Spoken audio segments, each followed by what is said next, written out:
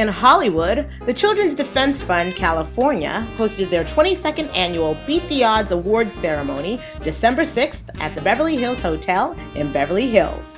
Headed straight into the event, Reese Witherspoon had this to say about one of the night's first nominees.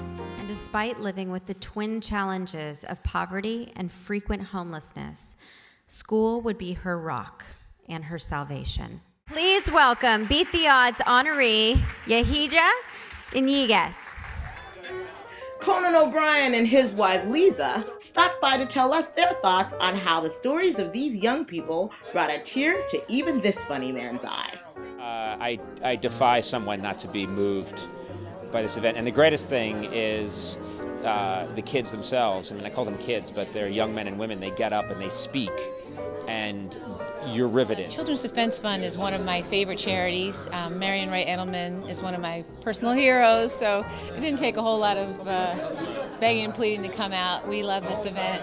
I've been coming here now for four years in a row, and I'm so, so happy. Katie and JJ sort of introduced me to the program. CDF is a voice for the voiceless, these children who desperately you know, need this kind of help. And tonight, the Beat the Odds dinner celebrates I think some of the most incredible and, and brave uh, people I've ever met, and they deserve to be celebrated. Trey and I get to tell you about two of our honorees tonight, a brother and a sister who are beating the odds every day. This talented young woman gets straight A's and sits at the top of her class at Frederick K.C. Price III High School.